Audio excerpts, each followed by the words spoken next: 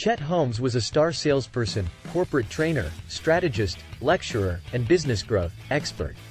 Holmes worked for nine divisions of a Charlie Munger company and doubled the sales.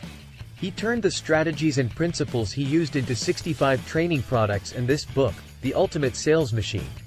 Holmes' 12 Key Strategies to Run a Successful Business. Strategy 1. Time Management Secrets of Successful People.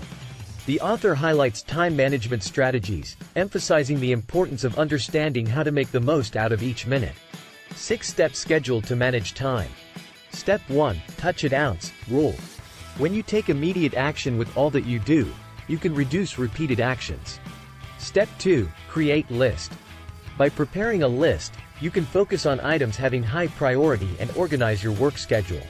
Step 3. Allot time for every task, for every workday. It should not be beyond 6 hours. Keep some extra time to handle unexpected or urgent issues.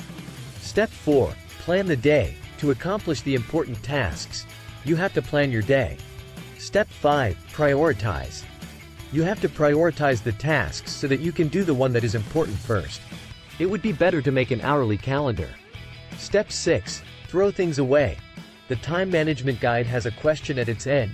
Will throwing this away hurt? Strategy 2. Set higher standards and provide regular training. It is essential to give your employees an in-depth look at your company's objectives if you want to raise standards. Strategy 3. Execute meeting effectively.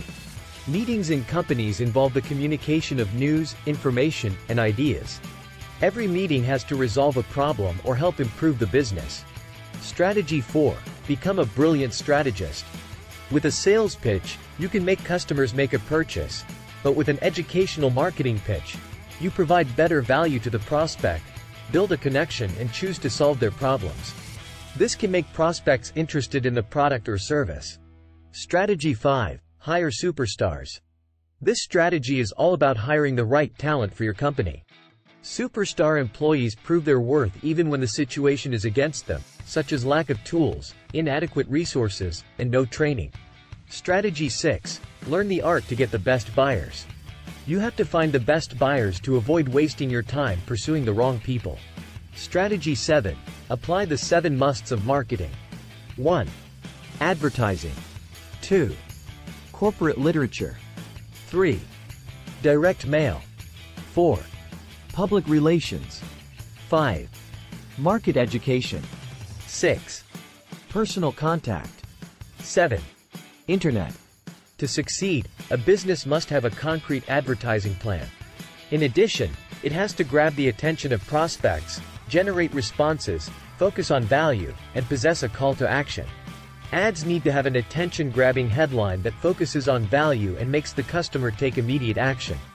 Use the internet not just to generate leads but also to build a bond with prospect. Strategy 8. The eyes have it, presentation matters. The way you present your information takes precedence over what the information is. Moreover, boost your success with an excellent presentation.